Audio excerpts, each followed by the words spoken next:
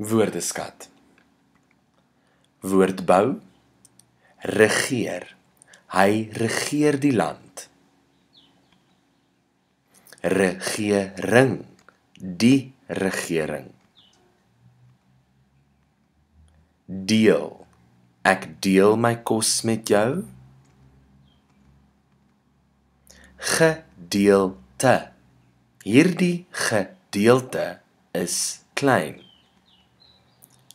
ander. Verandering. Daar is baie veranderinge. Woon. Ek woon in 'n huis.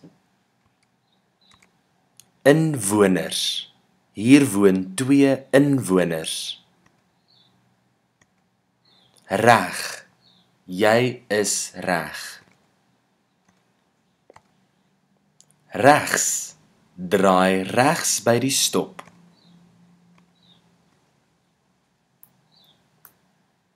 Regtig. Dit is regtig waar. Volg.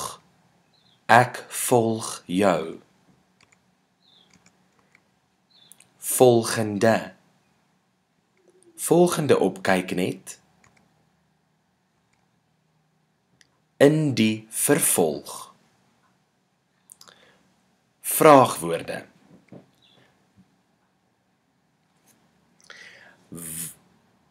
Wat wat plus voorsetsel equals waar plus voorsetsel. Wat plus in waarin. Wat plus by waarby. Wat plus oor waaroor wat plus na waarna wat plus met waarmee wat plus vir waarvoor similar principle with wie. Wie plus voorsetsel equals voorsetsel plus wie. Wie plus by by wie. Wie plus met met wie etc let's have a look at your other question words.